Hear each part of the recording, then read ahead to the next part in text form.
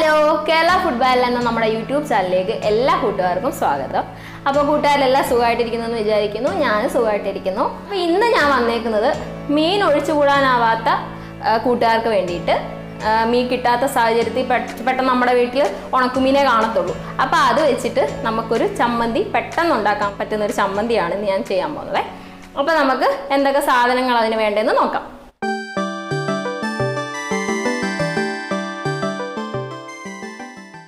അങ്ങനെ നമുക്ക് ചമ്മന്തിക്ക് ആവശ്യമായിട്ടുള്ള സാധനങ്ങൾ ഇവിടെ ചൂട അല്ലെങ്കിൽ കൊഴുവ എന്നൊക്കെ പറയുന്ന മീനാണ് ഞാൻ ഇവിടെ എടുത്തേക്കുന്നത് കഴിയ സമയത്ത് അതിന്റെ തലയൊക്കെ പോയിട്ടുണ്ട് ഒടിഞ്ഞു കിടപ്പുണ്ട്. പിന്നെ ഇതിന് വേണ്ട സാധനം ചുവന്നുള്ളി. ചുവന്നുള്ളി തന്നെ എടുക്കണം. സവോള എടുത്തു കഴിഞ്ഞാൽ മധുരം വരും നമ്മുടെ ചമ്മന്തിക്ക്. അതുകൊണ്ട് അത് വേണ്ട. പിന്നെ ഇഞ്ചി. ഇഞ്ചി ഞാനൊരു ചെറിയ കഷ്ണം മൂന്നാലഞ്ചായിട്ട് കഷ്ണിച്ച് വെച്ചേക്കുവാണേ. പിന്നെ കറിവേപ്പില. അതുപോലെ തന്നെ എരിവിന് ആവശ്യമായിട്ടുള്ള മുളക് പൊടി. പിന്നെ നമുക്ക് ഇതെല്ലാം കൂടെ ഒന്ന് മൂപ്പിച്ചെടുക്കാനായിട്ട് വെളിച്ചെണ്ണ വേണം. അപ്പം നമുക്ക് നേരെ പരിപാടി തുടങ്ങാം.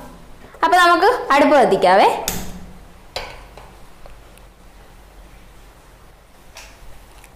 നമ്മളെ ചട്ടി ചൂടായിട്ട് വന്നിട്ടുണ്ട്. ഇനി നമുക്ക് ആവശ്യത്തിനുള്ള വെളിച്ചെണ്ണ ഒഴിക്കാം.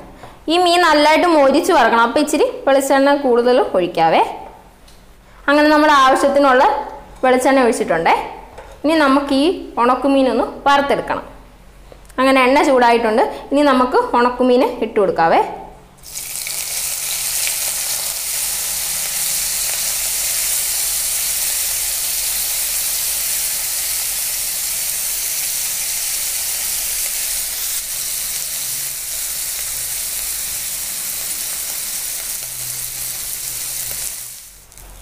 അങ്ങനെ നമ്മുടെ ഉണക്കുമീനെല്ലാം മൂത്ത് വന്നിട്ടുണ്ട്.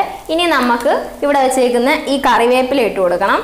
അതുപോലെ തന്നെ ഈ ചുവന്നുള്ളി പിന്നെ ഈ ഇഞ്ചി. ഇതുകൂടി ഇട്ട് ഒന്ന് ഇളക്കാവേ.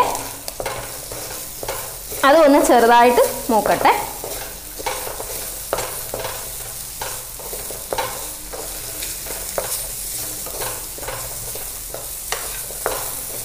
ഇപ്പം നല്ല മണം വരുന്നുണ്ട്. ആ കറിവേപ്പിലയൊക്കെ ആ എണ്ണയ്ക്കകത്തൊന്ന് മൂക്കാൻ തുടങ്ങിയാൽ ആ ഇഞ്ചിയുടെ മണവും ഈ സമയത്ത് ഞാൻ തീ ലോ ഫ്ലെയിമിൽ ഇട്ടേക്കുവാണ്. അല്ലെങ്കിൽ നമ്മുടെ മീൻ അങ്ങ് കരിഞ്ഞു പോകും. ഉള്ളിയൊക്കെ അതേപോലെ അങ്ങ് കിടക്കും. ഉള്ളി ഒരുപാട് വാടണ്ട ചെറുതായിട്ടൊന്ന് വാടി കിട്ടിയാൽ മതി. അങ്ങനെ നമ്മുടെ ഉള്ളി വാടി വന്നിട്ടുണ്ട്. ഇനി നമുക്കിത് ഓഫ് ചെയ്യാം. ഇനി നമുക്ക് ഇതിൽ നല്ല ചൂടായിട്ടിരിക്കുമല്ലേ ആ സമയത്ത് നമുക്കിതിലോട്ട് ഈ എടുത്തു വെച്ചേക്കുന്ന എരിവിന് ആവശ്യമായിട്ടുള്ള മുളക് പൊടി ഇട്ട് കൊടുക്കാവേ. ഇതൊന്ന് നന്നായിട്ട് ഇളക്കി യോജിപ്പിക്കാവേ.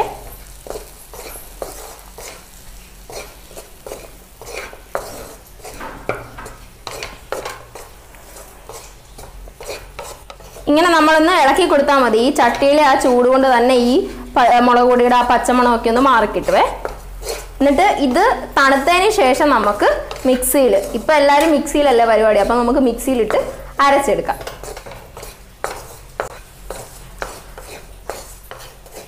അപ്പോൾ ഇനി ഇതൊന്ന് തണുക്കാൻ വേണ്ടിയിട്ട് നമുക്ക് ഇത് ഇറക്കി വെക്കാം. അപ്പം നമ്മുടെ ഈ ചമ്മന്തിയുടെ കൂട്ടിന് ഏകദേശം ചൂടൊക്കെ അങ്ങ് മാറിയിട്ടുണ്ട്. അപ്പോൾ ഒരു ചെറു ചൂടോടെ നമുക്കിതൊന്ന് അരച്ചെടുക്കണേ. പിന്നെ നമ്മുടെ ഈ ചമ്മന്തിക്കകത്ത് നമ്മൾ വെള്ളം ഒന്നും ചേർക്കത്തില്ല കേട്ടോ. വെള്ളം ചേർത്ത് കഴിഞ്ഞാൽ നമ്മുടെ ചമ്മന്തി പെട്ടെന്ന് കേടാവും. അതുകൊണ്ട് നമ്മൾ ഈ ഉള്ളിയുടെ ഇഞ്ചിയുടെ ഒക്കെ ആ നനവിലാണ് ഈ ചമ്മന്തി അരഞ്ഞു കിട്ടുന്നത്.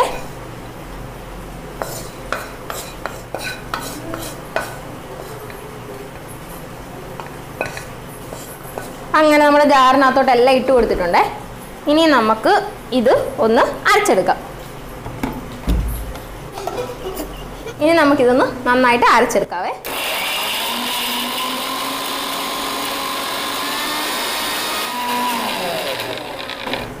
നമ്മളിത് അരയാൻ ഈ ഉള്ളിയൊക്കെ വലിയ കഷ്ണമായിട്ട് കിടക്കുമല്ലേ അപ്പോൾ അരയാൻ ഇച്ചിരി ബുദ്ധിമുട്ടുണ്ട്. അപ്പോൾ ഇടയ്ക്കൊന്ന് ഇളക്കി വെച്ച് കൊടുക്കണേ.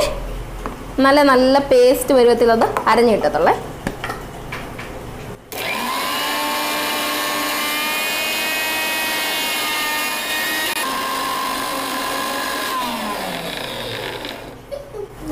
അങ്ങനെ നമ്മുടെ ചമ്മന്തി നന്നായിട്ട് അരഞ്ഞു വന്നിട്ടുണ്ടേ. കണ്ടോ? നന്നായിട്ട് അരഞ്ഞിട്ടുണ്ട്. ഇനി ഒരു പാത്രത്തിലോട്ട് മാറ്റിയിട്ട് നിങ്ങളെ ഞാൻ കാണിച്ചു തരാവേ. കേട്ടോ?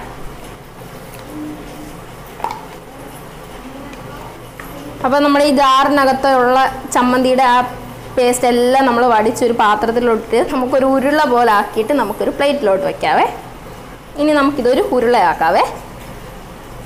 കണ്ടോ? എന്ത് കണ്ടോ? ഒരു തുള്ളി വെള്ളം പോലും നമ്മൾ ചേർത്തില്ല. ആ ഉള്ളിയുടെ ആ ഇഞ്ചിയുടെ ഒക്കെ ആ ഒരു നനവാണ്. കണ്ടോ? തേങ്ങ ഇല്ലാത്ത ചമ്മന്തി കണ്ടോ? എന്ത് ടേസ്റ്റ് ആയിരിക്കും. നല്ല മണമുണ്ട് ആ ഇഞ്ചിയുടെ ഉള്ളിയുടെ ഒക്കെ. ഇനി നമുക്കൊരു പ്ലേറ്റിലേക്ക് വെക്കാവേ. കണ്ടോ? നമ്മുടെ നല്ല രുചിയുള്ള ഉണക്കുമീൻ ചമ്മന്തി റെഡി ആയിട്ടുണ്ടേ.